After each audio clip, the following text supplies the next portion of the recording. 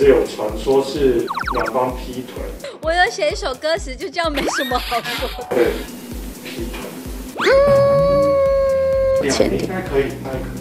我觉得可以了啦，差不多了吧？I'm ready, I'm ready。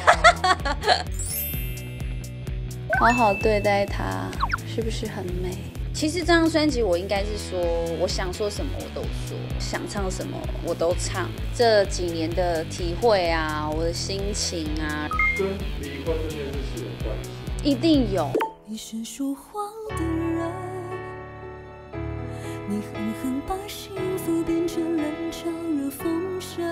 你是说谎的人这首歌，这首是嗯，我觉得应该就是我最黑暗的时候的心情。我很感谢我的部落，其实你知道我回去的时候都没有人会问我什么，一句话都没有，就是文艺出来烤肉啊，唱歌啊，走啊，去哪里去哪里你。恢复单身的时候，他们是不问的那一块，还是就是新闻出来没多久，我们就去佩瑶的店嘛，她老公开的店，我们就聊聊天，就没有聊细节，但他们就是看到我觉得我 OK 就好了，没有，笑得很开心的。其实有传说是两方劈腿，可是因为当初你们其实双方没有要，你们就是只有承认这件事情，可是没有要多发表任何东西。我有写一首歌词，就叫没什么好说的。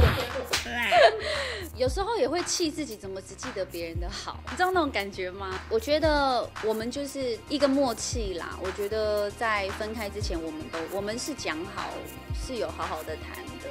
对，或是你发现有什么不对劲的时候，就会去思考，是我变了吗？还是还是中间发生什么问题？这这也是一个触发点，让我会可能有一点点怀疑自己。大概花了多长时间，你才走出比较低潮其实有一点不自觉，因为时间这种东西真的是悄悄的，你你不会刻意去发现，可是某一时刻你又觉得说，哎、我好像没事。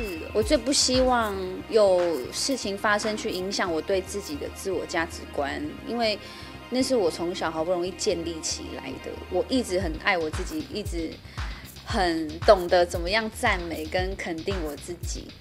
所以我不想因为什么事情发生而影响我对这行我不够好啊，或是对自己质疑。候，我封锁对吗？没有 Line 什么 IG 什么都没有，照片还删你真的还在？啊，在啊，不会去看，可是就觉得没有必要删。你看到那两个都有桃花吗？追求者啦有，那你会怕再谈恋爱吗？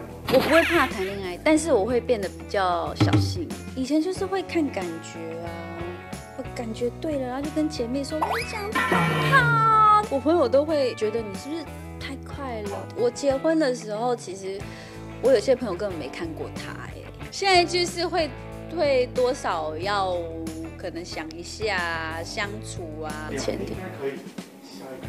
我觉得可以了啦，差不多了吧？I'm ready。